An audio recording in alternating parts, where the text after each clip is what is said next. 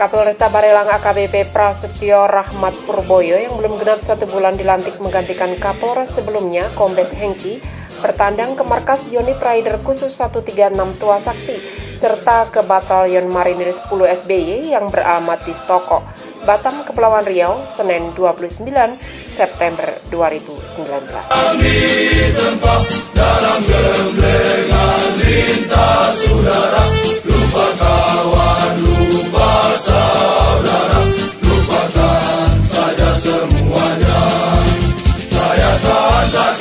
Sakit-sakit sampai masuk rumah sakit, saya tahan menderita siang malam ku di tempat, walau diriku di tempat hatiku selalu gembira, gembira, gembira selamanya.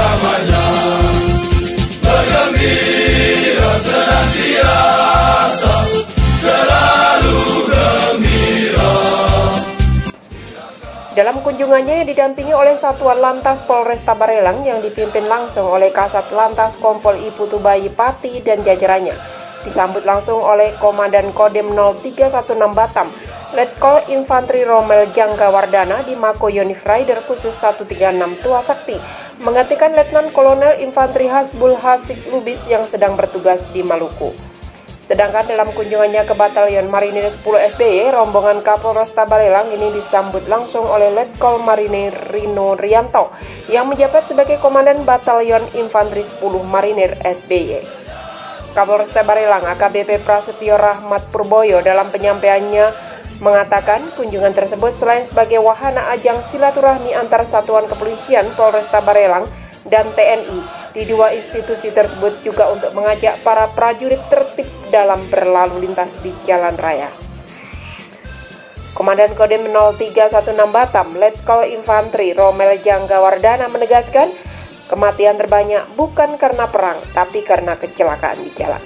Acara ditutup dengan pemberian souvenir satu unit televisi LED 42 inci dan 30 unit helm SRI sebagai bentuk terima kasih serta penyematan PIN sebagai tanda pelopor keselamatan berlalu lintas. Reporter Ika Ratna Dewi melaporkan dari lapangan.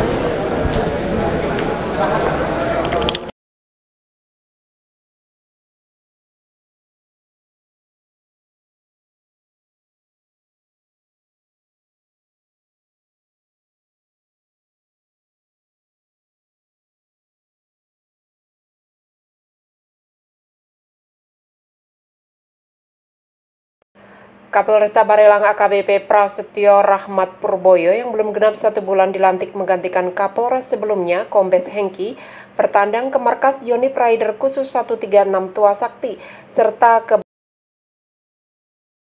Batalion Marinir 10 SBY yang beralamat di Stoko, Batam, Kepulauan Riau, Senin 29 September 2019. Dalam kunjungannya yang didampingi oleh Satuan Lantas Polresta Barelang yang dipimpin langsung oleh Kasat Lantas Kompol Ibu Tubayi Pati dan jajarannya, disambut langsung oleh Komandan Kodim 0316 Batam, Letkol Infanteri Romel Jangga Wardana di Mako Yonif Rider khusus 136 Tua Sakti, menggantikan Letnan Kolonel Infanteri Hasbul Hasik Lubis yang sedang bertugas di Maluku. Sedangkan dalam kunjungannya ke Batalion Marinir 10 SBY, rombongan Kapolresta Barelang ini disambut langsung oleh Letkol Marinir Rino Rianto yang menjabat sebagai Komandan Batalion Infanteri 10 Marinir SBY. Kapolresta Barelang AKBP Prasetyo Rahmat Purboyo dalam penyampaiannya mengatakan kunjungan tersebut selain sebagai wahana ajang silaturahmi antar satuan kepolisian Polresta Barelang dan TNI di dua institusi tersebut juga untuk mengajak para prajurit tertib dalam berlalu lintas di jalan raya. Komandan Kodim 0316 Batam, Letkol Infanteri Romel Janggawardana menegaskan kematian terbanyak bukan karena perang, tapi karena kecelakaan di jalan. Acara ditutup dengan pemberian souvenir satu unit televisi LED 42 inci dan 30 unit helm SRI sebagai bentuk terima kasih serta penyematan PIN sebagai tanda pelopor keselamatan berlalu lintas. Reporter Ika Ratna Dewi melaporkan dari lapangan.